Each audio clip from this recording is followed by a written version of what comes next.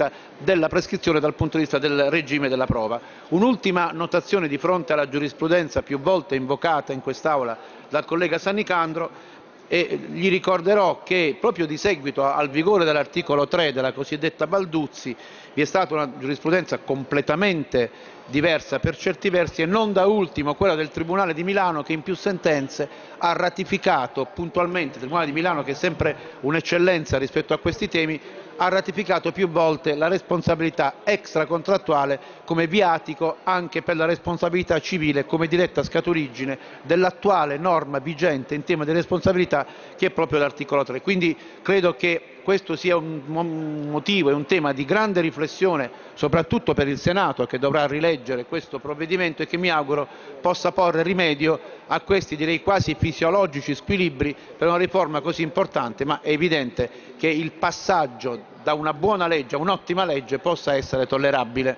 Voteremo ovviamente a favore. Grazie, non ho... Onorevole Grillo, prego.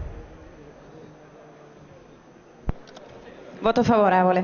Grazie. Onorevole Baroni a titolo personale, prego.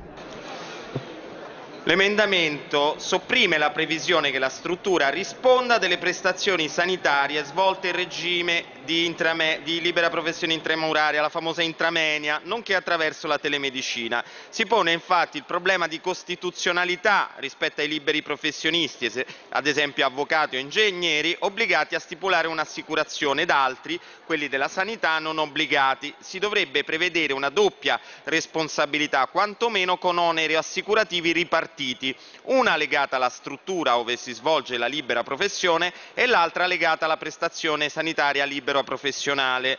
Per questo noi chiediamo la soppressione di questo comma. Grazie. Grazie, non ho altri iscritti a parlare, metto in votazione gli identici 7.16 Colletti e 7.17